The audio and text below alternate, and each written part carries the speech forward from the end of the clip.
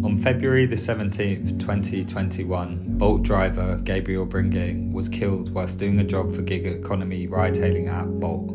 Gabriel was lured into a trap and was stabbed by riders in his car. Gabriel remained stationary for over three hours logged onto the app as he died, and Bolt did nothing. Sadly, Gabriel's story is part of an endemic issue of unsafe conditions amongst gig economy drivers. Drivers for Bolt, Uber, FreeNow, and others are often driving in fear. As most drivers are self employed, they aren't afforded the same rights and protections as regular workers, meaning they often lack adequate sick pay, holiday pay, and pensions, protection against discrimination, and a guaranteed minimum wage. Drivers are repeatedly reporting one thing when incidents of abuse or violence take place, no matter the situation, the app companies always take the side of the passenger.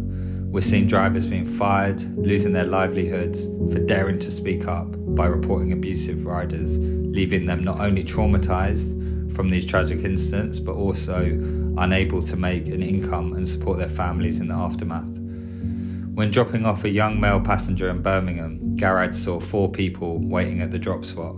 They got into the car, stabbing the passenger and pulling Garad onto the street, causing his legs to be run over by the wheels of his own car.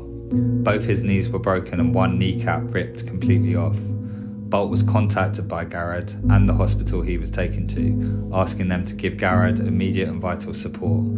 Bolt showed no empathy or concern, saying there was nothing they could do and that he should seek help elsewhere.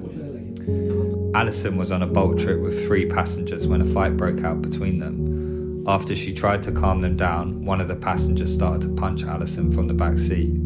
When she left the car trying to escape, the passengers continued to attack her, dragging her to the floor and kicking her multiple times. Alison pressed Bolt's SOS button twice during the ongoing attack, hoping for some help or rescue, but the app didn't respond. She was left to fend for herself. After being threatened and assaulted by a passenger, Abdurrahman was forced to stop his vehicle and attempt to escape.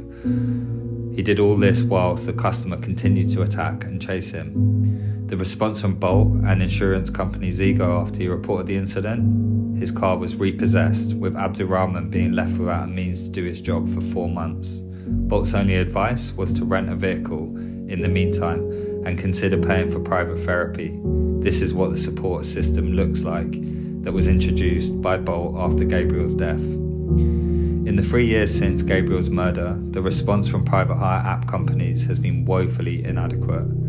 An SOS button which doesn't work properly, a lack of physical protections for drivers, no CCTV or petitions provided, inadequate sick pay and no leave so riders can recover from traumatic incidents, a fundamental lack of empathy for drivers that make the millions.